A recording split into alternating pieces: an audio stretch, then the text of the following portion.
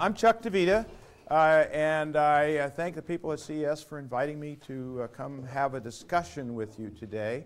I'm not here to give a presentation, I'm here to have a discussion with you. That means that you have to interact. I know as GSB people, you won't have any problem doing that. But it helps me as a speaker because I get feedback through your questions and your issues as to whether or not I'm driving the discussion in the right fashion.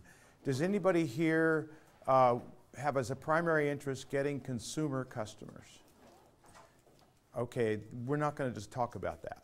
This is about talk, selling and marketing to the enterprise. Okay, I can't spell retail. All right, I have no experience in that space. Does anybody care care a lot about going to the small and medium business SMB market? Good, because I don't know anything about that either. okay, um, I started my life as an engineer uh, and then moved into product marketing, and then into sales, and then sales management, and then general management. Along the way, I built two startup companies, one in combined hardware software, and the other a software company that were somewhat successful. And then my last real job, which ended in 1995, uh, was at a public company that had been unprofitable for uh, several years, and the vision was that I would fix sales and everything would be wonderful. And indeed, sales needed fixing, but so didn't the rest of the company. Suffice to say that through proper focus, getting back to what we were good at and discarding doing things we weren't very good at, uh, we did return the company to profitability and quadrupled the stock price in the course of two and a half years. Uh, at that point, I had been speaking at some conferences and getting a lot of applause, and so I decided to see if I could turn applause into money and hung my shingle out, initially as a company called Sales Process Systems, which was about helping companies that were at public stage and later improve sales productivity, revenue growth, and revenue predictability through a set of sales management and marketing management methods. we actually developed a model we called the integrated sales management process model. At that point in time, it was viewed as an oxymoron. Uh, so uh, then some venture capitalists asked me to work with some early stage companies to help them get funded and build their business plans and that kind of thing. And then along came a partner and uh, we brought in a consultant to figure out what to do with our company. We changed the name to Growth Process Systems, and uh, we have a, range of services from the first stuff that I did to working with companies to help them get funded to uh, an outsourced capability for getting reference customers. The processes for getting reference customers, initial customers, and selling to the enterprise are very, very different from what you want to do once you have a proven solution and you're established in the marketplace. And I'll tell you about that as we go along. So um, the goal I have is to help you uh, have a better understanding of the challenges and best practices for acquiring your initial enterprise customers. And for the argument's sake, let's say we're talking about companies that are $100 million or greater in size. All right. Uh, this is about our company. You have the notes, so I don't need to spend a lot of time on that. We're a small consulting firm. Uh, I also teach in continuing studies. I'm currently teaching uh, the last of six sessions on a course on selling and marketing software as a service to the enterprise. Um, and I will this summer teach a six-week course on developing value propositions and pricing models. These are courses taught in the evening to people like yourselves who are running companies. And I'll do the SaaS class again in the fall. So the uh, the items I'd like to try to cover today, and I assume we have about an hour and 10 minutes, something like that, Claire, uh, is uh, what I call moving from vision to execution. We'll talk about does anybody not know who Geoffrey Moore is or Crossing the Chasm? Everybody has that book, right? If you don't buy it tonight, there'll be a test in the morning. It is one of the Bibles of Silicon Valley, okay? Uh, we have to understand what stage are you at, and I have some methods to help you do that. We'll discuss selling models, uh, various kinds of products and solutions, and then what do you want from customers. A model that we call the value pyramid, which is quite useful for figuring out how to bundle what it is you're doing for your customers. Uh, and uh, then we'll discuss how you enter the market. What about ideal customers? Why do you need to have an ideal customer list? And uh, we'll talk about value propositions. And if we get through it all, then positioning and messaging architecture. Uh, so that's kind of what I'd like to cover. Uh, so let me ask you, um, what's your number one goal this year? Somebody tell me what your goal is for your company? VJ, what's your number one goal? Um, starting Huh? Starting up. Starting up, okay. Can you, so in your process of starting up, relative to getting customers, what's your number one goal? Is it getting revenue? Wrong goal. All right, next. Robert, what's your number one goal? First paying customer. First paying customer. Okay, good. Anyone else? So I would posit that the number you can only have one number one goal first, okay? And that it has to be achieving reference ability when you're selling to the enterprise market. And we see many companies that make the mistake of I need revenue and I need it fast, so I'll take any customer who can fog a mirror and has some money in their pocket. Okay? And what that is is a sales anywhere strategy which usually results in failure. Failure meaning we plateau out at some point in our growth that's unsatisfactory. Our support costs are high, lots of bad things happen.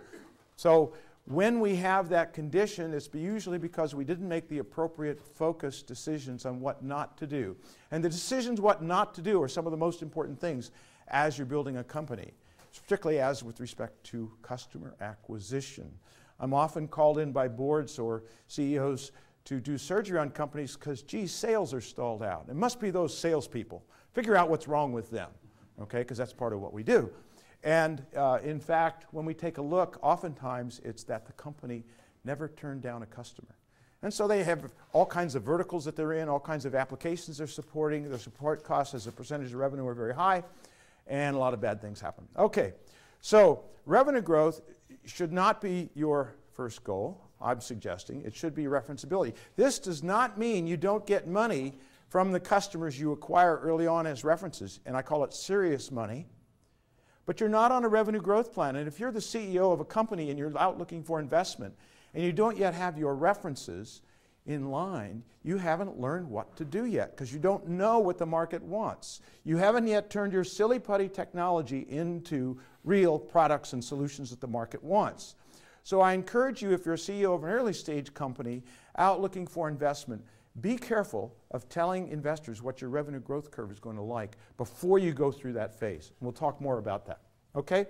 And then the question is how, how many of you have both goals? Oftentimes CEOs will say, well, we need references, but boy, we need our, our revenue growth right now, right? And that's a confusion and lack of clarity. And it's, uh, it's one of the most difficult early decisions you'll have. So, what you want to do is you want to find an intersection between a market opportunity, some product or technology capability, and access to decision makers who have acute pain about the problem that you pose to solve. We call that the sweet spot. So many times we see companies focused over here in Silicon Valley, and maybe they don't find a sweet spot because their baby's so beautiful, all they have to do is show it to the world and everybody will want to buy it. Anybody have that as your business plan for going forward? Okay? Small companies do not have the resources to educate a market. So I'm going to tell you several times today do not have a strategy of educating the market about how wonderful your product is. Okay? So, you've all been through a stage where you had an idea. You then sort of move that into a strategy of how to go forward with that idea. You then explore and focus some ways of attacking it in terms of target markets, product types, company types, and then you go into execution mode. Along the way, some business uh, planning and, and team building events occur. And the good thing is, with today's technology, we don't just introduce a product and then have to wait a long period of time for feedback. Typically, we get feedback fairly quickly, and we iterate the design as we go forward. And hopefully, revenue and cash flow look something like that. Okay? So, don't design a perfect product early on. Think prototype. Think a minimal feature set to get feedback from the market. And many times I see founders who want to build the perfect product before they ever go to market. This is particularly true for companies that are founded out of Israel with engineering teams from Israel, because Israeli engineers don't care what the customer wants, they know what the customer needs. And I've seen that in several cases, all right? And sometimes there's success and sometimes not. So your product will evolve over time. That will result in different value propositions and pricing models as you go along. So I encourage you to think if you've thought of a very sophisticated capability early on, dumb it down. Make it easy for people to understand. How many of you are in technology of some sort or another? A fair number of you. What we tend to do in technology is we tend to tell complex stories with Word documents that are thick, and people don't understand. Investors don't understand. So, one of your biggest challenges is achieving clarity and simplicity. And if you can do that graphically rather than in words, you'll be better off. And I'll show you some examples as we go forward. So, this is Geoffrey Moore. Okay, I assume you're all familiar with that. And uh, over here, you have the risk takers, the experimenters, the people that I call we do death by demo with, right? We keep showing the product and we do demos, we educate, we do more demos, we educate. And the issue is they don't have all the money. The people with all the money are here in the early majority and the late majority, the people with the big budgets. These people, as you probably know, don't buy on your feature set, they buy on a banker's mindset of what's the return on investment and can they accept the risk of dealing with you as an early stage company. The reason large corporations won't do business with you is much more about your, their perception of your risk of survival as opposed to your technology. So, one of the things we need to do is try to reduce that perceived risk in the customer's mind. Okay, um, so who sells what in this model? Well, early on, it should be the founding team, and you're trying to get one enterprise customer, and you're really discovering sort of some basic needs. You're going in and you're saying, How do you do it now? And what are the issues around how you do it now? What are the problems? And what if we could do X and Y and Z? Would that matter to you? Do you have enough pain about this problem that you'll work with an early stage company? And will you give me access to your staff, because that's a lot of what you want? And oh, by the way, I want you to give me a bunch of money. And there's no product. We are not selling a product at this stage. We are selling a vision at this stage. Okay? And one of the things I see is people think they have to finish the product before they can deal with customers. Robert. Okay, so you may not have a product, but are you at least saying you're going to alleviate their pain for the money they're giving you? Absolutely. Okay. Yes. And they're going to participate with you with the development, and they get some privileges out of that. So they get early access, they get to influence the feature set. You might give them some kind of access for some period of time before you go get other customers in their space. Be careful of long term exclusives, those can be really dangerous. Exclusive only hurt you when you're successful. When you're not, they don't matter. So be very, very careful about having exclusives. Robert. So this is the exact stage I'm at. And my question is on the cold call, what do I pitch to them about why they should open up and why they should talk to me? Well, first off, selling is not about pitching. Selling is about listening at this stage. Okay? Selling to enterprises is much more about consultative approaches than it is about pitching a product. So don't pitch. All right? You need to find out do they have acute pain about the problem that you're solving? If the answer is yes, would they like to learn more about what stage you're at and your vision? And now you have a, sec- a meeting with them and you tell them where you're at and you explain that you need some help in taking this to market. And they're they have an opportunity to be one of the early customers to help you. And what you want is staff time, and you want them to become a reference, and you want money.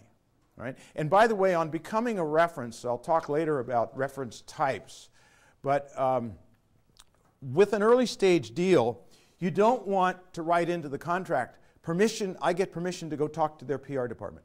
PR departments are in the business of protect, preventing you from saying what you want to say about your relationship with a large enterprise.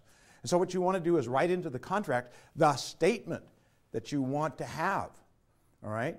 And so, the issue is this is a filtering model. We're filtering for acute pain because quite a few of the prospects will not agree to the set of conditions that I'm laying out. So the next stage is the learning stage, and here we're trying to get typically around five enterprise customers where it's an executive team. We have a set of services that we provide as an outsourced sales organization. You're combining technology and services, typically, a little bit customized for each customer, so that after you have five in a marketplace, you've learned what the market wants, all right, and you're learning about the product development process. Now then, you go to a professional sales team, a standardized product and solution. It's very transaction oriented, and you're looking at tens and hundreds of customers to be acquired. All right? And the question I raise for you is where are you in this spectrum, and I'll show you some ways of measuring that. And the other thing that is really interesting is we see a lot of companies who are over here hire the professional sales person or team and marketing person or team from the large company in the related space here, and they put them down into this situation. Six to nine months later, they're gone. They quit or get fired.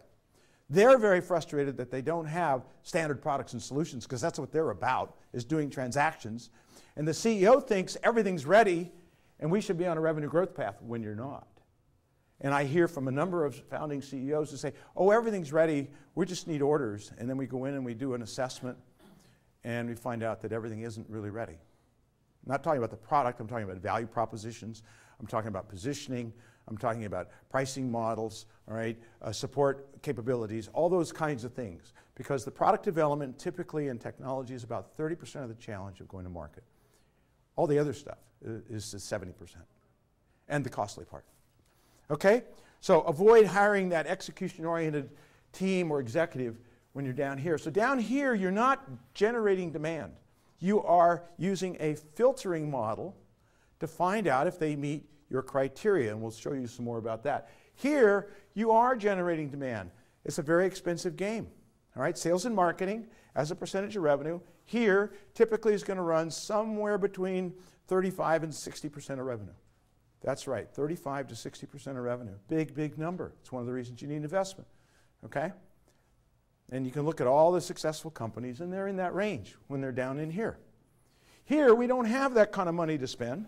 So we're very selective. Think about it this way. Think about the next six to nine months. How many enterprise customers can you bring into your company and, and support properly? It's a limited set two, three, four, five, some small number. Why shouldn't you be selective in terms of who you give the privilege to of being your customer? Interesting concept. Well, how do you do that? You have a list of the characteristics that you want, an ideal customer criteria list that we'll talk about more. All right? And you're very selective as to who you agree to let be your customer. Okay? How are we doing so far? Does it make sense? All right. Uh, have you seen all this stuff before? Okay. All right. So this is okay. All right. Going ahead. Uh, so the challenge is filtering, not educating. You don't have the resources and the bandwidth to educate the market. All right. Uh, you're familiar with the, the sales learning curve by Leslie and Holloway, I assume? Right, that they did in 2006. That's a very good paper on uh, this particular area. So I told you I was going to help you understand what stage you are at. And this is a set of charts we've developed. So depending upon your funding, you might be in discovery and learning or execution. With regard to marketing, are your value propositions non-existent? Uh, value hallucination, as Steve Blank says. By the way, that's a very good book. Four Steps to the Epiphany by Steve Blank. If you haven't read that, a very good read. Steve is a very successful entrepreneur. Uh, did started eight companies, four wildly successful, and he has lectured here. He also uh, is a professor at Haas, and um, he and I have done a number of events together. So it's a real good uh, book, The Four Steps to the Epiphany. Um, pipeline. Is our pipeline non existent? Have we started to develop it, or is it fully developed? And you can see, I don't need to go over each one, um, but it, the, this one on partners you know, channel partners raises an interesting issue. How many of you think your initial market approach is going to be through channel partners? Good, because channel partners do not establish your references. What's a channel partner? Uh, somebody that resells your product, okay, in some fashion, through a variety of kinds of relationships. They, they're in the business of taking your product once you have proven you can get customers to make money with it, and now participating with you in some fashion by providing some of the set of services of going to the market. But they are not effective, typically, at helping you establish your um, references. Product development, all right? What's the uh, what stage is he at? Prototype, prototype, alpha, beta, or production? Is there a product roadmap? All right, is it preliminary? Is it more detailed and functional? So you can see as you start to look at these components, you can measure where you are with regard to sales. Who is doing the selling? All right, is there a sales process? Do we have a sales process model that is proven or not? How many customers do we have? Do we have a worldwide perspective in what we're doing? How many of you are going to go worldwide in the first year of your operation? I would suggest you consider doing that. When I built my companies, I was traveling internationally within the first year. Um, and I think it's pretty important today, especially when the barriers for purchasing around the world have gone to zero through the internet. Okay? Uh, and then with regard to services, which are really, really important, uh, who's doing them? Are they productized or not? Right? And are they provided by yourselves or by system integrators? That's another issue for you to think about. System integrators early on are not very effective for providing your services. And the other thing is, when you're getting your first customers, why would you want to give the success of your customer to somebody else? You want to control that success. So while system integrators may have a role to play in your future once you're a proven solution, uh, you must be careful about trying to use them early on. Robert. What is uh, GPG? Oh, that's my firm, Growth Process Group. Sorry. Yeah. I'm not trying to give an ad for that. Yeah, good. Good pickup. Okay. So, what do you want from your early customers? You want their time. You want them to look at your specs. You want them to look at uh, test your prototypes. You want meetings with them, all right? You want their help, right? That's that's a group of people. So it's really important if you're going to an enterprise deal such as the type I'm saying, which is a development partner customer relationship, that the person who makes the decision to work with you has the political power to allocate resources, right? Because if they don't have the political power to allocate resources, you aren't going to get the time of the staff, right? And as I said, you want to get very clear on what kind of reference they're going to become. Now, you do want money. And, and here, my suggestion is let's assume three years from now your deal size, for argument's sake, is $100,000 or $200,000 you ought to get at least half now, all right? Not $10,000, not $5,000, okay? And um, that brings up an interesting point. What's the definition of a customer? My definition includes must have given us money. So those of you who have free trials of one sort or another, those aren't customers. Those are free trials. They may have value for you, but they do not have the level of commitment that a customer has. Okay? Um, so without the money, you won't get the commitment of the staff. Because imagine for a minute that Jenny comes in to see me and she pitches a particular solution I'm interested in, and she gets significant money from me, and Thomas comes in and says, I'll let you have this for free at this stage. Where do I assign my team? Where I allocated the money. Right? So the purpose of the money is to get the access to the resources of the enterprise customer to help you develop the product. Okay, what do you want from later customers? Well, it is about revenue, sorry, clearly. It is about if, if you have a land and expand model, growing from departmental to enterprise wide use, right? You want to upsell and cross sell. And if you're in a subscription kind of business, it is about getting renewals. In the, in the software space, which I work a lot in, uh, now it's software as a service is the name of the game. And if you don't have renewal rates that are well above 90%, you will have unsatisfactory financial results. Right? And so what that means, for example, in that particular segment, is you must have a very high value placed on customer delight. Go ahead. Lauren? Uh, upselling versus cross-selling terminology again? What's- Yes, that means you sell other modules or other components that you could have sold. All right? You sell them other stuff. Yes, DJ. pricing for those early customers if the goal is getting? Ah. I think I have something on that. Ask me that question. Ask that question again if we go through it and it's not here. Uh, and uh, it, that's an interesting issue. But what technology companies in particular fail to do is understand the value that they provide for the customer. And so what happens is they tend to price their offering low, and many times we see the opportunity to raise price substantially, and good things happen. Tire kickers go away, access to higher level executives increases. Top level executives don't solve $10,000 problems, they delegate that three levels down. If, you want, if that's what you want, that's fine, not bad. Just know that's the level that you're going to deal at. If you're trying to solve an enterprise wide problem, and I'll show you uh, what that means in a minute, uh, then, then you perhaps need to be at a higher level. This chart speaks to the characteristics of uh, enterprise customers that are early adopters, okay, and those who purchase later on. So, for example, uh, does the early adopter require that the product or solution be fully defined? No. Do they require vetted value propositions? No. Are their decision makers typically visionary? Yes. Do they typically have good political, high political power in their corporation to take risk? Yes. Right? They're not looking for references. So back to the ideal customer criteria, if you in a, in a filtering model and you're talking to an executive at a firm you think you want to sell to early on, and they say, "Well, what do you have as references?" That's probably not a good early customer. You put them in the bucket for the majority and you keep them warm through communications over time until you're ready to go after them. They don't expect sales tools developed and- so on. And of course, the reverse is true over here. Okay? Um, so, this, by the way, has implications for who should be doing the selling. These people that sell over here tend more or less to be talkers, and this is more of a challenge of listening. Robert. So, uh, Sometime in the presentation, I'd love uh, some quick thoughts on initial approaches for these early adopters.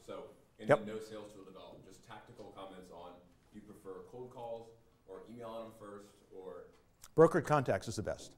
Brokered contacts come from advisors, from uh, people like myself, from potential investors, from professors who may know opportunities. All right, now, there's a good and bad side to a brokered contact. It gets you in the door. It does not equal a sale. You must still have a structured sales process to go through to a successful close.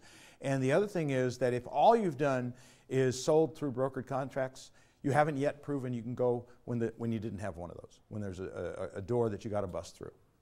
Okay? Is that answering your question? Yeah. that's the best uh, approach. And you want to utilize those as much as you can early on. Okay, uh, so uh, how many of you plan to sell in a top down model where you're going in at a high level? One, I see one hand. Okay. Uh, the initial target is the enterprise. You develop the enterprise app. It is classically a, what's called a complex sales model, and there are a variety of uh, methodologies for how you uh, do that kind of selling. You know, Miller, Heiman, uh, total ta- target account, task group, uh, solution selling, and the like. You need to qualify early for good fit, and stop selling when there's not good fit. One of the things that sales organizations and individuals who are selling at this stage as well do a poor job of is stopping selling when there's a low probability of success. So we, you need to get clear on what early qualification for good fit means, have a list of qualification criteria, and be ruthless about using that. Okay? It's essential to get these people to give you time. It may involve trials, but they don't have to be free necessarily. In fact, what we find with the enterprise solution providers that are my clients is they've typically moved from free trials to trials that are charged for, typically somewhere in the ten to fifty thousand dollar kind of level for a solution that might cost two hundred fifty thousand dollars a year. All right, why? It's called buyer commitment. Right, and what they find is the conversion rate for the charge trials is 60, 70, 80 percent. 90%. For the free trials, it's 10, 20, 30%. So substantially different. And yet, we have technology companies and early stage founders who say, well, gee, I'm just unproven. I can't ask for money. You know? The only reason an enterprise will spend time in meetings with you is because they believe that you and your team are the best team to solve the problem that you're going to solve for them. As soon as they don't believe that, the meetings will stop. Because buyers are always making decisions to stop purchasing cycles. Right? So, equally on your side, you should be evaluating how well they fit and deciding where to spend your resources. Okay, you will have higher selling costs per order with this top down model, but once you get management commitment, adoption success is given because they have the political power to commit the resources, all right? And so you get faster adoption if you get that top level commitment. Alternatively, there's a bottom up model, typically a land and expand kind of model, where you're going in at a departmental level, all right, and you're getting users excited, and Uh, initial revenue, in fact, may be advertising or subscription based. Revenue growth will be slow. Early sales do not establish your referenceability. And the probability of getting the enterprise is low. Um, I have a client in Sausalito that uh, solves the problem of reducing workers' compensation for Fortune 100 companies through a software as a service model. And when I got involved with them a few years ago, uh, their process was to do what I call plant seeds. They had trials everywhere, hoping they would blossom into real deals, right? Real deals being on the order of a quarter million dollars a year. And they were very unsatisfied with the success rate of that, uh, blossoming into real deals. And so we, uh, I actually became an interim VP there for about nine months, sales and marketing, to restructure the whole process. And what we did was we focused on the value that we're providing for the customer. We started calling higher to get commitment. And then we packaged the trial into the contract such that if we meet the success metrics for the trial, rollout becomes automatic. And we negotiate the contract before the trial. Now, that's not an easy thing to do, all right? But none of this is easy, okay? So um, it's not impossible.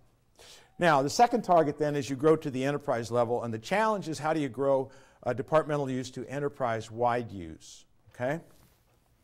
So the investment for this model typically is higher, okay?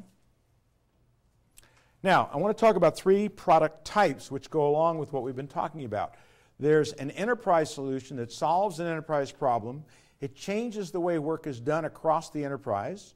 All right, it, is, it very much must be a top-down model.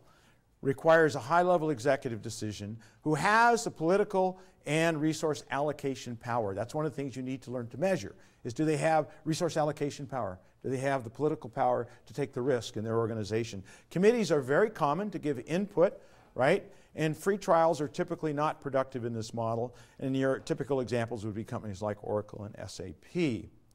Now, then there's a departmental solution which solves the departmental problem, changes the workflow in the department, and it is what's called land and expand. We'll get this department working up and successful, and then we'll expand to another group in the company. And my uh, client right now, Technologies in the CRM space, is of that model, and they're doing about $180 million now and growing quite nicely. And by the way, they're hiring; they're looking for people. So, um, so we secure a beachhead, cross sell and upsell. Typically, does require a departmental executive decision who has resource allocation power within their domain. And free trials may or may not be productive for generating sales, and these are some examples. Uh, and then there's a point product, okay? Um, this is a point product. It's a live scribe pen that allows me to take notes, capture audio, and have the notes synced with the audio so that I can share them with people later, all right? Gwabbit is an interesting point product. If anybody's not familiar with Grab, Gwabbit, G-W-A-B-B-I-T, it scrubs the contact information out of your emails and puts it automatically in Outlook, right? So it's sold to individuals who happen to work at enterprises and they have no political or resource allocation power. So don't fool yourself if you're in this category that you're selling an enterprise solution. It does not change the workflow in the enterprise.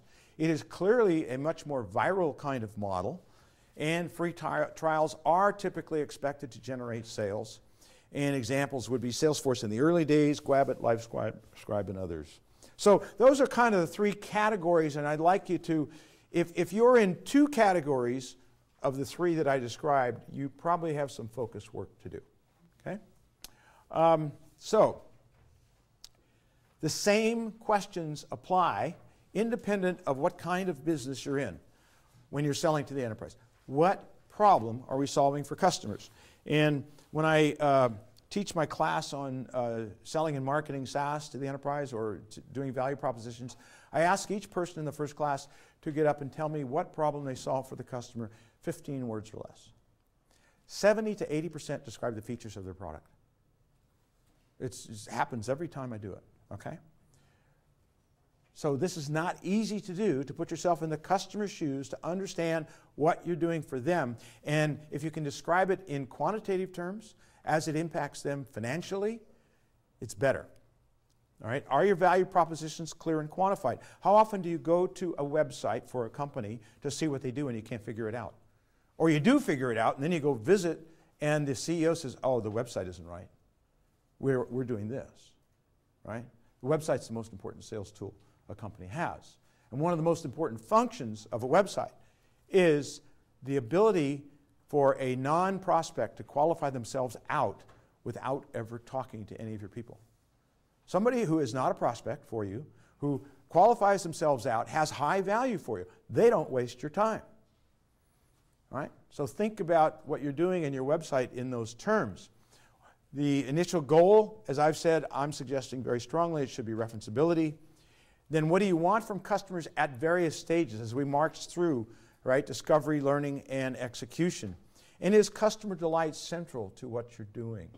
I had a great experience uh, today in the consumer space, which I know nothing about, with uh, Zappos. Um, I had bought a, a, pair of Allen Edmonds shoes, several hundred dollars, and they're the wrong width. So I, I called them up and I said, I want to return them. No problem. We'll send you the label by email. And gee, we don't have the width you want. Would you like us to go to other websites to see who has them? They went out to other websites, found another, and I, and I placed an order for the correct size. Do you think I'm going to go back to Zappos next time I want shoes? You bet. Right? Excellent customer service. Uh, same with Tiffany's. Tiffany's, uh, and, and these experiences I know are consumer, but Tiffany's several years ago, my daughter, my younger daughter is the senior legal counsel for the FLO TV division of Qualcomm. And she had done some work for me, some legal work on contracts, and didn't want compensation. So I wanted to get her a nice gift. And so I started looking at Tiffany's, and I looked at all the different kinds of things that she might want. And I saw a few, so I called in. I said to somebody on this, they had a glass globe, and I said, Can that be inscribed? Gee, I don't know. It's downstairs two, two floors. I'll go get one and I'll find out and call you back. Five minutes later, yes, it can be inscribed. So when I need that kind of thing, I'm going to go, I know where I'm going to go, all right, because it's hard to find wonderful customer experience. Amazon, same way, right? What is Amazon great at? Selling books? No, providing excellent customer experience. That's what they're really good at. Okay, are your corporate goals clear and published? How many of you have corporate goals on a page of PowerPoint? Well, develop it. Okay? Why is it important? It's really important for communicating with your team as you add team members. It's super important for developing sales compensation once you have salespeople. Right? And we often find there's a disjoint connection or not connection between corporate goals and sales compensation system, and that results in very bad things expensive sales, poor close rates, and what I call entering markets through sales accidents, which is dangerous. Okay. How should the sales process evolve? Uh, do you know who to sell to? I think in this deck I'll show you a model of figuring out who to sell to. We have an approach we call the value pain matrix, where we list the problems we could solve, we list the title types who ought to care, and then we evaluate them on a number of factors like do they have acute pain? Can they create budget? Do they have political power? Right? Are they the owner of the problem? Early on, you do not want to sell across departments. That results in long sales cycles and bad close rates. Who makes the decision to buy? Oftentimes, when you enter into a discussion in an enterprise, you have a sponsor who brings you in, and then somebody else, called the economic buyer, makes the decision to buy. Companies have a practice of preventing sales organizations from getting to the economic buyer, right? They protect them, with a cloak. You need to be able to find out who's doing what role. And in this regard, you might look at Miller Heiman strategic selling. I think it's called the new strategic selling. You want to understand what are the characteristics of an economic buyer, a sponsor, a coach, a user buyer, and a technical buyer. All right? Most people that you'll deal with have the ability to say no in terms of stopping the process moving forward. The only person who can say yes in and of their own power is the economic buyer. That is not a title. There's no title that's economic buyer. It varies according to the deal. It varies according to the length of your relationship with the company. If in fact you're viewed as mission critical and this is your first deal with this company, all right, the economic buyer is likely to be quite high. On the other hand, if it's your 10th deal to a division of the company, economic buyer is liable to be a purchasing agent. Right? So learn to evaluate the people in the buying process through a methodology, and there are several that are commercially available. How long does it take to implement? In the old software world, as an example, you know, we bought a million dollars worth of software and four million dollars worth of services, and it didn't work for the first year, right? And so people had a lot of bad stories about places like SAP and Oracle and the others. Today, in the software world, through software as a service, you can give a new customer a successful first user usage experience within weeks. And whatever it is you're doing, whether it's in software or technology or not, you want your customer to become successful quite quickly to get enthusiastic about what you're doing. And then what about channels? Does it make sense to use them initially or not? How much will they pay to the question you raised? And uh, we'll, we'll get into that. So, um, Okay, we still doing okay? Yeah? All right. This is a model called the value pyramid. I've used this for years uh, in classes and with clients relative to how are we going to position what we sell? How are we going to bundle our domain expertise in a way that creates maximum value for the customer and maximum price or deal size for us? Okay? So, down at the bottom here, uh, you're a component uh, you're a bolt, you're a semiconductor, all right, uh, you're, you're a newspaper, all right. Up at the top, you are a much more extensive uh, solution for an enterprise. Now, uh, the attributes are different. Okay, down here it's price, delivery, and quality. Market's very large, typically horizontal. Up at the top, deal size is large, differentiation from competitors is high, and uh, market is smaller okay, typically.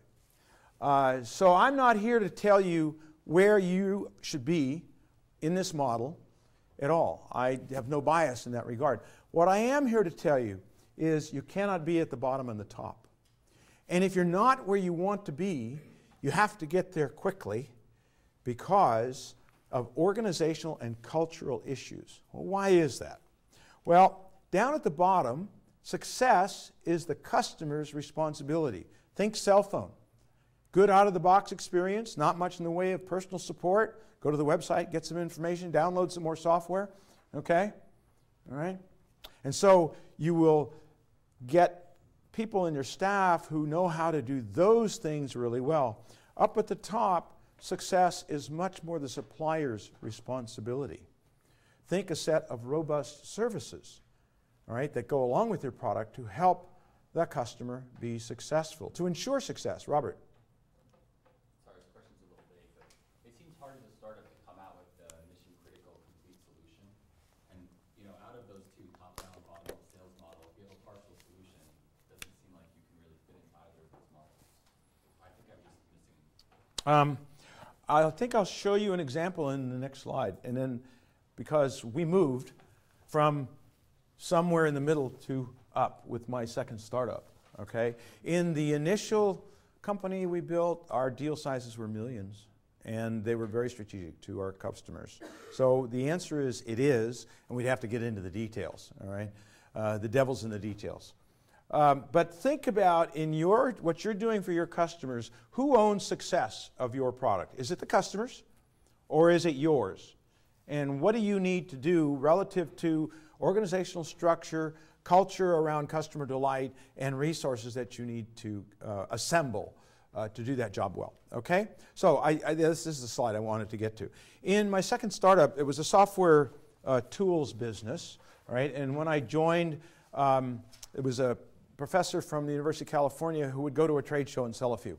And then we go to another trade show and sell a few. And I was VP of everything initially and then ended up being VP of worldwide sales. And so Initially, our, our order size was about 15,000, and we sold a couple licenses and some maintenance and some user training. All right? We went through a, uh, a year of no new product capability from engineering, which is a death in that business. All right? And I'd been around the world holding seminars on the product offering that we had at that point. So I sat down with the VP of marketing that we had and the VP of support services, and I said, We're going to have a new product offering because I've got to do a new set of seminars and I can't go back with the same thing. And engineering is not going to help. What are we going to do about that? And we came up with what we call a solution model. We called it our pilot project. And it was a set of stuff. Now, we were not turning the company into a services company. We were using services to leverage the product sales, all right? And what was really interesting for me, in addition to all this stuff, was we said, we're going to help you dramatically improve the quality of your design reviews. I had seven vice presidents at Sun each jump out of their chairs and say, I'll buy one. I had vice presidents at places like Xerox and General Dynamics and Hughes Aircraft. Yes, I'll take it. Because we are terrible at design reviews and it's hurting us financially. It's taking us too long to roll our projects out. That was an aha for me, right? About here we had this domain expertise that we could package into a solution for the customer, build the deal size, build the value for the customer, differentiate ourselves from competitors, and uh, it made it easier to work with new companies in new markets because we were partnered for their success. We would come back and do success reviews, right? That was part of the package. Yes, Robert. The design review only of how your product fit into their overall workflow? No, no, their design review. Their design review process. They were not doing design. In other words, they would do a design review and then later they'd find an error in the design, many of them, right? So they, they didn't feel like they had a good process for doing that. And, and our capability as packaged here dramatically improved that. I just cite that as an example. Each of you have domain expertise that you're giving away for free right now. And you need to start thinking about how you can package it in to your product. You'll productize it eventually, but initially maybe you're not ready to productize it, but it should be packaged in with what you're doing. Companies will do business with you because of the expertise of your team, right? They don't do it because they love your product eh, early on. It's because of the expertise of your team. So package that expertise in a way that maximizes the value in their minds. Remember, we're trying to approach this from a customer perspective. Okay, so this is how customers look at this. When I was a salesman for Fairchild Semiconductor a long time ago, um, I spent time with component engineers at places like Hughes and Xerox and General Dynamics, getting my integrated circuits on the approved vendors list. All right, I was operating down here. Right? Up at the top, you're contributing to uh, strategic issues, organizational issues. And again, I'm not saying where you should be, but these are choices you get to make. And some of the choices are what not to do in terms of this. So when I hear from a founder, our product can be sold to consumers, our product can be sold to enterprises, it doesn't matter. It's about the domain expertise that you are going to build about your customer's problem. And you don't have enough resources early on to do it for everybody. When I hear we're going to have a vertical approach, and these are the first four verticals we're going to do. No, you're not. Not successfully. Because when you approach a market vertically, that means that people in sales, marketing, support, and development have domain expertise about the needs of that vertical. There is no way in hell you can put together domain expertise about several verticals in an early stage company. And even larger companies have difficulty doing that. Make sense? Okay? Um, so, let's talk about how we go to market. This is the entrepreneur's dream. I have a product idea, we'll design it, I'll set some goals, I'll hire a bunch of salespeople, and away we go. Anybody been in a company like that? Yeah, sure. Well, uh, here's a better way, in, in my view. You do the strategic stuff that we talked about earlier. Then you select some candidate target markets you propose some ideal customer criteria, and as Steve Blank says, you propose value hallucination. This is your view of your value before it's been vetted in the market. Okay? And as Steve also says very well, there are no facts inside the building. There are only facts outside the building. So get outside the building. All right? Facts come from customers and prospects.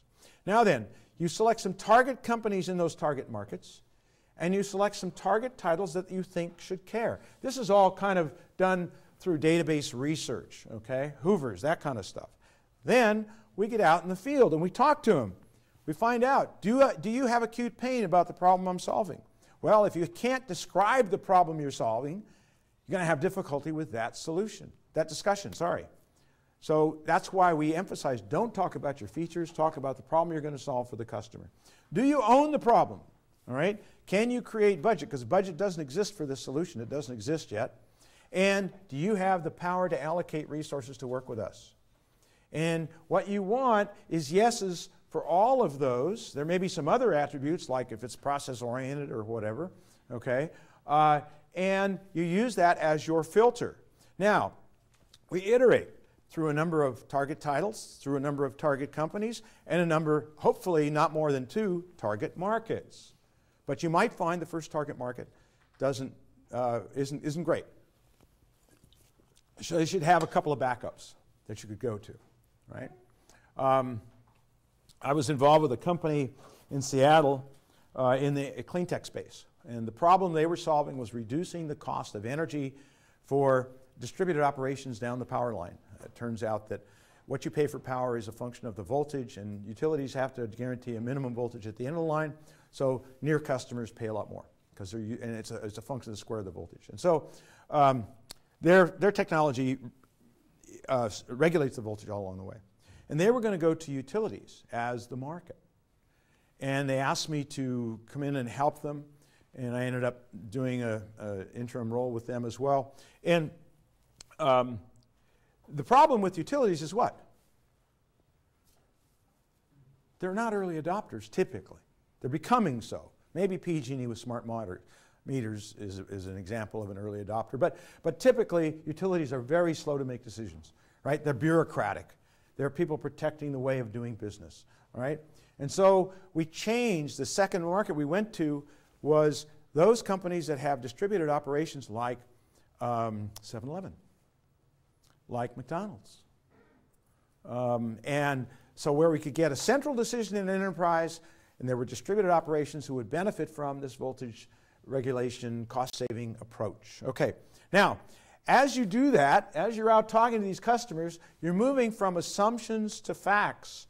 You need to be objectively critical of yourselves about what are assumptions. I'll go through conversations with companies and they'll make some statements about some things relative to customers and markets. And I'll say, is that an assumption or is that a fact? And they'll say, oh, that's a fact. And then we go through a next phase of the conversation later on. I say, give me the numbers about those facts. Oh, you want numbers? Excuse me. Facts come in numbers form. Okay? And so be objectively critical of yourselves about what are facts and what are assumptions. And then you need to notice this this is a difficult part choose a market. What do you mean? I can only sell in one market? Initially, yes. If you're familiar with Geoffrey Moore's Crossing the Chasm, it's the beachhead concept, okay? Now then, you acquire your development partner customers who are giving you money but also access to their staff. You're refining your product, you're developing your sales tools, you're refining your value propositions and developing your sales process. I was involved with a company in uh, 1999, actually, that was a hosted play then. We didn't know it was called Software as a Service. And the problem we were solving was improving the supply chain, which was external to an enterprise, for the problem of packaging electronic devices like laptops. It turns out that the process of designing and manufacturing a package is quite complex, often involving 100 parts. And what happens is product development is late. We've announced we're going to introduce it at a, a show, right? And so packaging gets squeezed in terms of the time it can do its job. And therefore, the quality of the packaging declines. That results in an increased rate of damage to the product and returns, financial value. Okay, so we developed a solution for improving the, and, and by the way, most of that package work is done by vendors who are external to the enterprise. So we developed a solution for fixing that problem, better, faster, cheaper with the supply chain. So the first customer I got was Hewlett Packard in Boise, uh, $200,000 a year on a renewable days basis. And I went back to them three months after they had the product and were using. I said, "How are you doing on integrating the supply chain with our solution?" Uh, oh, well, we're not going out to the supply chain yet. We love the product. We're using it for internal control this year. We're going to do the supply chain next year. What do you think I said when I went to IBM? You cannot learn these kinds of subtleties with a bunch of smart people like yourselves sitting around a table. Doesn't happen, right? You only get that kind of thing relative to value with talking with customers. So one of the important things about developing value propositions is once you've sold something, go back and ask, right? And that's something companies don't do a very good job of. Now then, we're moving from, at this point, from learning to execution phase. Now we hire that expensive execution team in sales, marketing, and support, and we go into a repeatable model, a process oriented model, where we can say if we add a resource in sales, marketing, or support, our revenue will go up by X amount in Y period of time. And once we know that, we now have a money machine, right? And now we need growth, growth investment to grow it, and the investors will happily dump buckets of cash on you if you can prove that. All right? Now, this is a much lower risk model for entering a market than the previous one. Okay?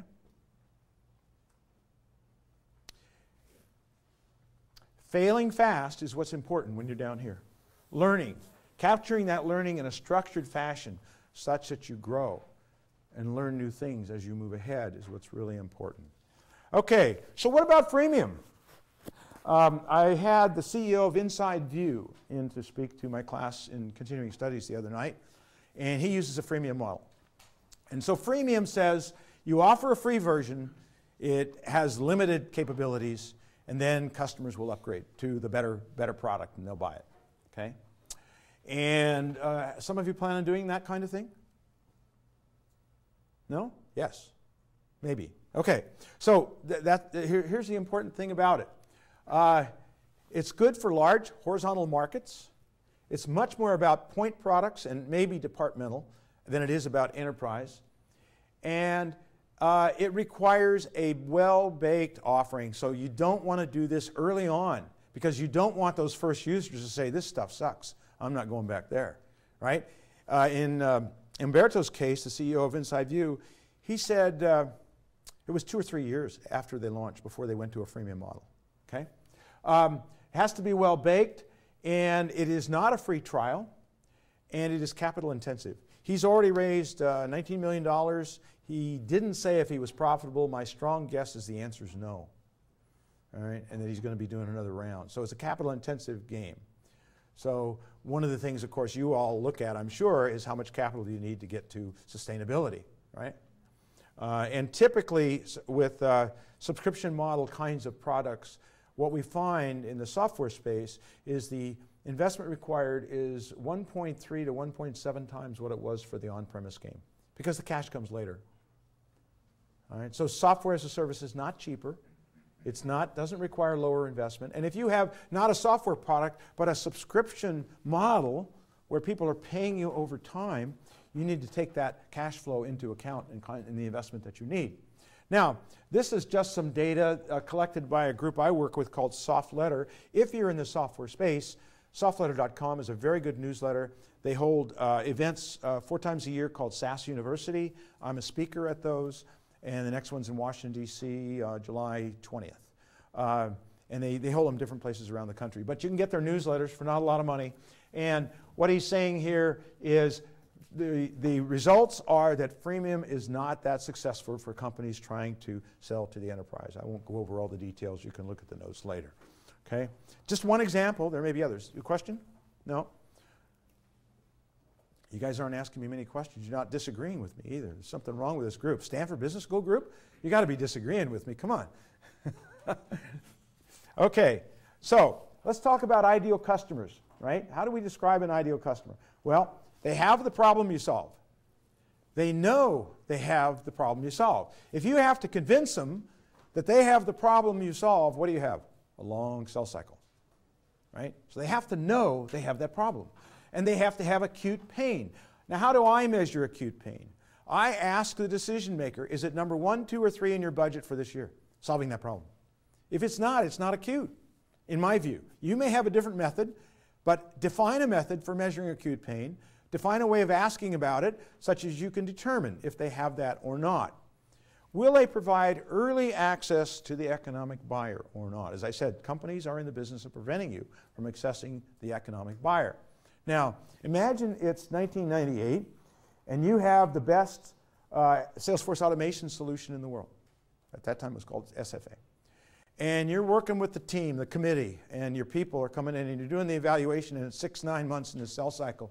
Now you meet with the economic buyer, and the economic buyer says, My team loves what you have. And you're getting pretty excited. We're going to get an order. But I have a problem. All of my budget is allocated to Y2K this year and next. Would you like to have known that in the first or second call? Yes. All right. I see you grinning, Robert. That kind of thing happens. Trust me. All right. And uh, of course, when it happens, if there's a salesperson involved, uh, and they do it many times, they aren't going to be there much longer. Okay? If it's just you as the founding team, that's your time that's your critical resource. Is there consensus on value versus price? How often do you go into a deal and they're trying to beat you up on price?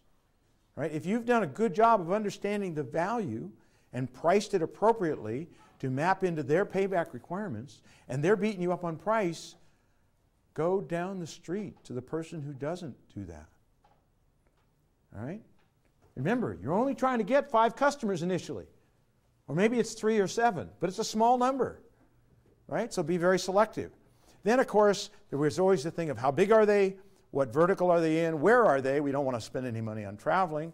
Uh, I don't think that's the right approach, but we hear that. And are they willing and able to pay? All right? Now, um,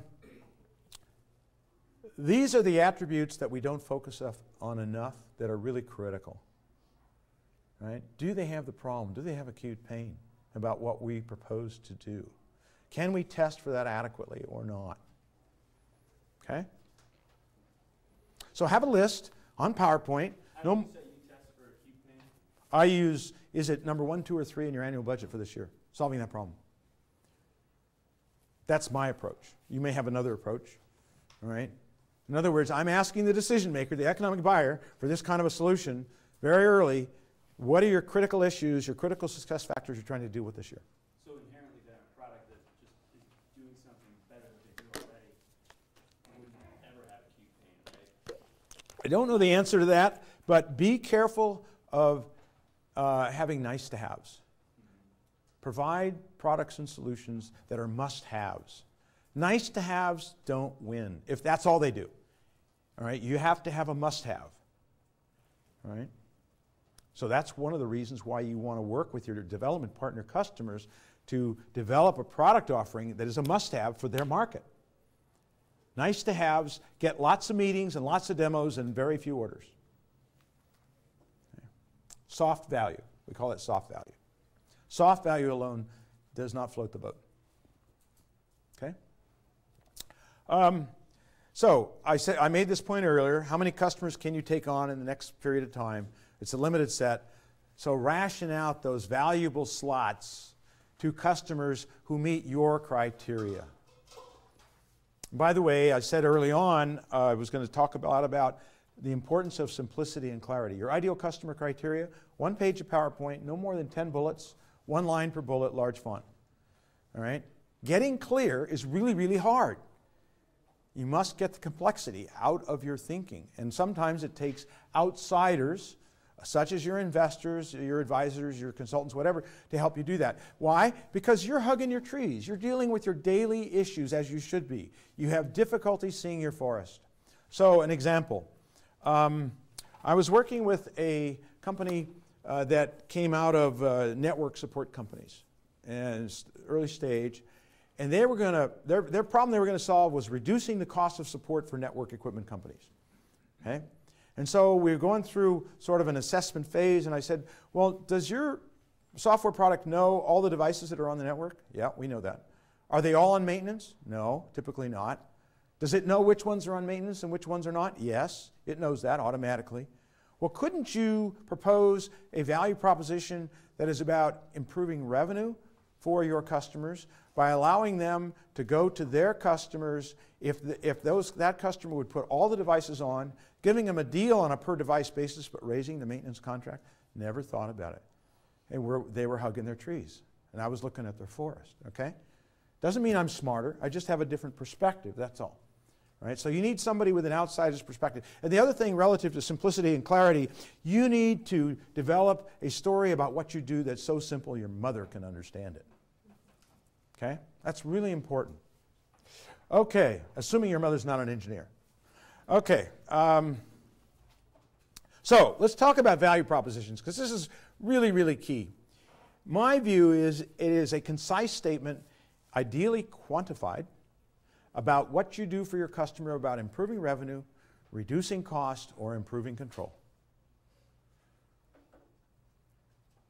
Doing value proposition work is really, really hard. I have a client in San Francisco right now where the CEO said, I want you to train my product line managers to improve our value propositions because I looked at the value propositions and they're very complex and they don't have any quantification. It would have been much easier job if I had just gone in and done the work for them, training the people to get out of their very tactical mindset and raise the level of their thinking to a financial problem is a difficult thing to do. Okay, what do value propositions do? They answer these kind of questions. Is it less risk? Is it faster? Is it cheaper? Is it better? All right? Nothing about features on this list. All right? Will it enhance my career? There's a concept in Miller Heiman strategic selling called um, wins versus results. All right? Results are the results for the company, the measurable impact. The win is the win for me, the decision maker, in deciding to work with you. All right? You always want to understand the career impact of the decision maker in working with you and your team. And you want to minimize that risk or find people who will take the level of risk that you provide. Okay, so how do we develop value propositions? You've heard me say it before simplicity is really key. Describe the problem solved from the customer's perspective. One page of PowerPoint, large font. Develop before and after views, day in the life of. What happened before your solution arrived and then after your solution arrived. And graphical is better than text, and I've found that it's extremely hard for insiders to do graphical views of the problem they solve for their customers. Okay? You map value to pain. You craft messages by title or function as derived from your value proposition. How many of you have companies that already have uh, taglines? Okay, do you have clear value propositions? Maybe not, okay? Yeah, and, and that why? Because taglines are cool, they're fun, right? Uh, moving at the speed of business, whatever your tagline is, okay? But that's not where this, the hard work occurs. It has to occur at the value proposition level. Okay, next page, same thing, we're still developing. We then make assumptions on parameter ranges. What are parameters? Revenue, cost, control, kinds of metrics, all right? Now, this is why I advise people don't solve problems or try to solve problems you don't know anything about. Why? Because if your assumptions about these things are way off the mark, you won't get the second meeting. Now, what happened in the bubble? The 20, some of you may be in this category, I don't know. So uh, the 20 somethings from Kansas came over here and they said, That's an interesting market. I don't know anything about it. I'm going to own it next week. And the VCs funded that. Right? And now most of them have gone back to Kansas because those companies generally didn't survive. Okay, you develop preliminary quantification from a TCO perspective. Does anybody not know what TCO is? Total cost of ownership. The, the customer has other costs besides what they pay you. They have to do some training, they may have to put in some infrastructure, or they may have to make some changes. So you have to understand the customer's costs. Right? And it's better if you get them to tell you what their costs are rather than you enter you uh, assuming, but initially, because you know something about the problem you're solving, you should have some estimate. And typically, their costs of switching to your solution are non zero, right? They may be substantial. You then test your preliminary value propositions, and then how do you know you have a good value proposition? Do you come to talk to somebody like me who blesses you and say that's a good value proposition? No. There's only one way get an order. That's it. So you keep trying to get orders around this value that you're going to provide. And you modify it as you go along because you're learning fast. And each time you get turned down, that's an opportunity to improve, not an opportunity to get depressed. Okay? And now you go back and refine it with real customer data. How am I doing on time? Five. Whoops. Okay. Uh, so this is about the value of outsiders but customers verifying. Here I want to talk about the graphical approach to uh, value propositions. So this is a, the first version of this was a, um, a data warehouse application uh, that uh, an early stage company we put together for sales and marketing executives of large companies. And before our solution rolled in, analysts who were I hired to uh, recommend action to management we're spending all their time running around in the silos of information, right? Gathering up the information, organizing it, and taking action. This is a generalized chart here. Could be selling, it could be developing, it could be supporting, right? It could be whatever it is that this particular entity in the enterprise has to do. The after picture with our $300,000 solution, gathering and organizing is automatic, enabling the analysts to spend a much bigger portion of their bandwidth taking action in a much faster period of time. This difference in time has huge value for the customer of this system. Who in this room doesn't get that picture? Nobody's going to raise their hand. I understand that. All right? The, it, because of its elegant simplicity. The first version of that took us an awful long time to develop. There wasn't even a time dimension. All right? Let me give you another example. How many of you have, at one point in your life, installed something difficult tech, uh, technically, like DSL, right, or ISDN? And so you go in and you go to the FAQ database and you ask for answers and you don't get the answers. You say, Give me an expert. You talk to that person for 30 seconds. You say, I know more than you do. Give me a better expert, right? And hopefully you move from wherever that person is overseas to somebody in the US along the way. And you escalate and you escalate. Now, before solution, in this case, most of the answers are provided down here. These answers are much more expensive than these answers, right? And customer satisfaction isn't very good. We provide this collaborative solution where customers of a customer can provide support. And now the answers are provided in this profile, and customer satisfaction is much better. Clear? Easy to get? You see the elegance of a very simple graphical approach to describing what you're doing for your customer. Now, this is the value proposition for that scenario. All right, we reduce the cost of support, we improve customer response, kind of things, and uh, that's the level of simplicity I'm suggesting that you want to try to achieve. One page of PowerPoint, large font, not many bullets. Hard to do, very hard to do, but very, very powerful, right, for your entry into the market. Okay, the next thing you want to do is understand what different title types care about, right, as derived. So you know, the CEO is about the stock price, and the chief sales officer is about revenue, and the finance officer is about asset protection and cash flow. Right? So you need to craft messages that appeal to the title type that you're going after. And sometimes you have to start at a lower level sponsor, and maybe the messages have to change as you move from one level to the next. This is that value pain matrix I told you about, right? Where what we have, um, what did I do with that? Here is the problems we solve, forget the details, and up at the top of the titles. And then we test for the attributes I described on that previous chart, and we sell a given problem to a given executive that has all of the attributes that we're looking for. We don't try and sell everything to everybody. We're very selective about the problem we solve and what we sell. And we also can help ourselves prioritize the problems we solve so we maybe spend our engineering resources on the ones that are most important to the target market that we're going after. Okay?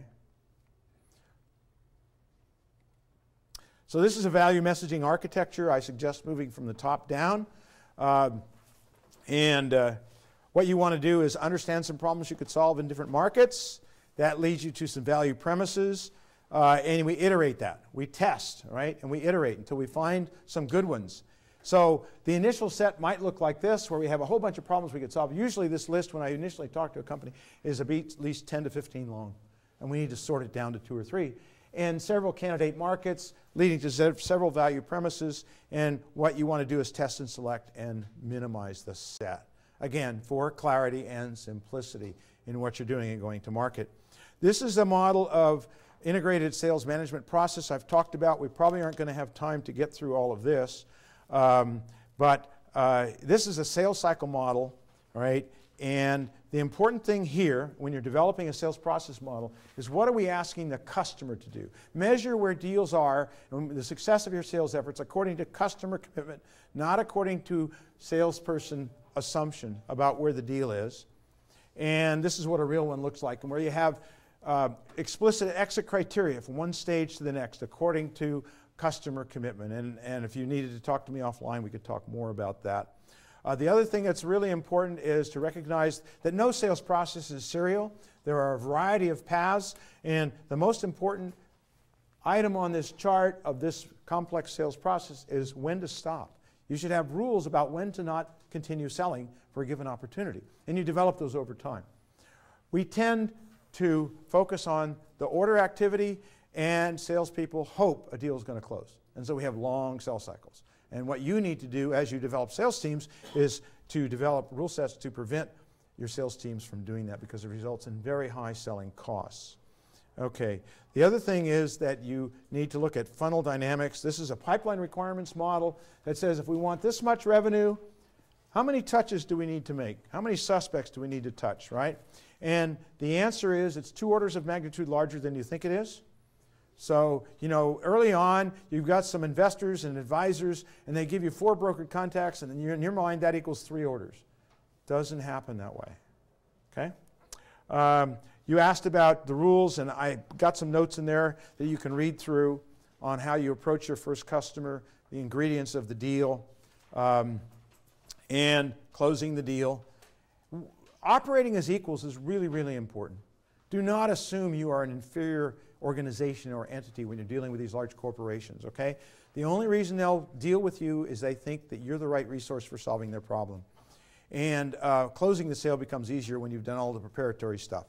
Okay, the next most important thing is get them referenceable, modify your value propositions, and publish your references on your website, in documents. Right? I have a client who has great referenceability, and his customers will not let him publish the references, and he is having trouble expanding in his market. Um, channel issues, I'm not going to spend any time covering that. There's some stuff in here about positioning, and uh, uh, you can read all that. Um, there is a template for developing a positioning statement. I suggest you do that. Um, and that's the summary page there. Uh, so um, I think I'll end and ask, are there any further questions? Yes? Um, I'm going to go back to your early part where you talked about early adopters and your, Yeah. um, you know, how do you get around possible concern? If I'm an early adopter, and you approach me about committing resources, knowledge, support, helping me define your product and solution, a solution that, yes, might help me solve my problems, but at the same time, I'm helping you develop a solution for potentially the deal sell to my competitors. So, how do you get around potentially that? Uh, you mean that I'm going to sell it to somebody else? Yeah, you're you're. Well, because your, your interest is served by me developing a solution that serves the broad market. Your interest is not served by my company becoming your custom engineering department. Because you'll end up with a one off that isn't baked in the, in, in the world, doesn't have the input of all the resources of everyone. And the other answer is I don't, I'm not in the business of becoming your custom design department, so th- no thank you. Down the street to somebody who doesn't have that concern. Okay?